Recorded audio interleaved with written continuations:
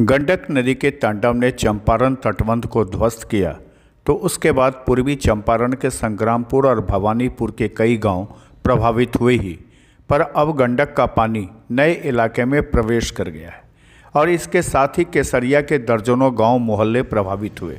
इसके साथ ही साथ मोतिहारी को पटना से जोड़ने वाली एस एच भी पानी के तेज बहाव के कारण बाधित हो गया है।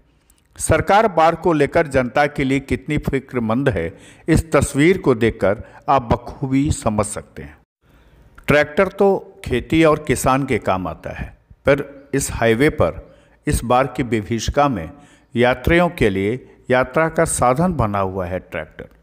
लोग बाइक पर सवार होकर यहाँ तक आते हैं और फिर अपनी बाइक और साइकिल को ट्रैक्टर पर लाद कर आगे जाते हैं। वहीं लोगों को इस डुबाऊ पानी को पार करना भी मुश्किल है।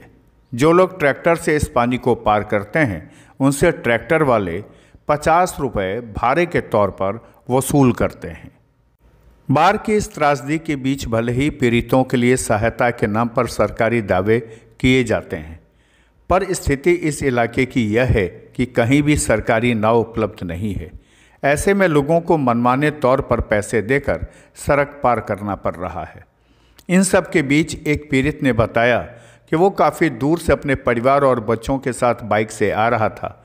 जब यहाँ पहुँचा तो देखा कि लोग ट्रैक्टर पर बाइक सवार करके पानी को पार कर रहे हैं। तो जब उसे पता चला कि इसके एवज में उसे सौ रुपये देने होंगे तो उसके पास इतने पैसे नहीं बचे थे और वो अपना और अपने परिवार और बच्चों को जान जोखिम में डाला और पानी को पार करने लगा। इस तस्वीर को आप गौर से देखिए कि ट्रैक्टर पर किस तरह से पहले बाइक को सवार किया जाता है, फिर उसे उतारा भी जाता है पानी पार कराने के बाद। लोग जब पचास रुपये देते हैं तो ट्रैक्टर सवार उनकी बाइक को और उनको एक पटरी लगाकर ट्रैक्टर पर चढ़ाता है। और उसके बाद इन लोगों को लेकर इस सड़क पर जो भीषण पानी लगा हुआ है बाढ़ का, उसको पार कराया जाता है। सबसे बड़ी बात है कि इस पूरे इलाके की स्थिति को सरकार तक कई जनप्रतिनिधियों ने भी बताया है, अवगत कराया है। लेकिन अब तक लोगों के लिए इस सड़क पर जब पानी से पार करने वालों के लिए कोई सुविधा मुहैया नहीं कराई गई है।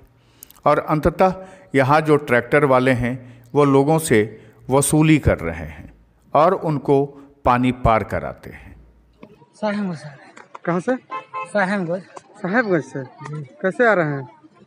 बच्चिया सब कुछ होने जाना इमरजेंसी अच्छा अच्छा। हमको मालूम नहीं था जो बाढ़ है। अच्छा। कितना दूर से पैदल अभी आ रहे हैं दो किलोमीटर। दो किलोमीटर से। कोई आने जाने का कोई उपाय नहीं है? कोई उपाय नहीं है ट्रैक्टर वाला सौ सौ रुपये मांग रहा है। नाव वगैरह नहीं है? कुछ नहीं। सरकारी नाव वगैरह कुछ नहीं? कुछ भी नहीं है भाई। रहता ना तो ये मोटरसाइकिल का दासा होता। हमने बोला जाना कहाँ है? पचास रुपये दे रहे हैं। जाना कहाँ यही केसरिया में। कहाँ से आ रहे हैं? अभी हम बेतिया से आ रहे हैं।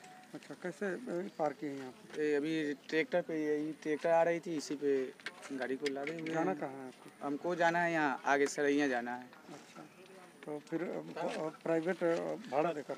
हाँ प्राइवेट भाड़ा देकर जा रहे हैं। ट्रैक्टर का सुविधा है तो मतलब किराया दे के हम लोग पार कितना रुपये पचास पे लग रहा है। सरकार की तरफ़ से कुछ नहीं है? सरकार की तरफ़ से कोई सुविधा नहीं है। ये मतलब खुद अपना ही करना होता है बहुत परेशानी हो रही है हम लोग को आने जाने में। अच्छा। और ऐसा है कि दो डेली आना जाना पड़ रहा है डेली पैसा लग जा रहा है। कितने दिनों से आ रहे हैं?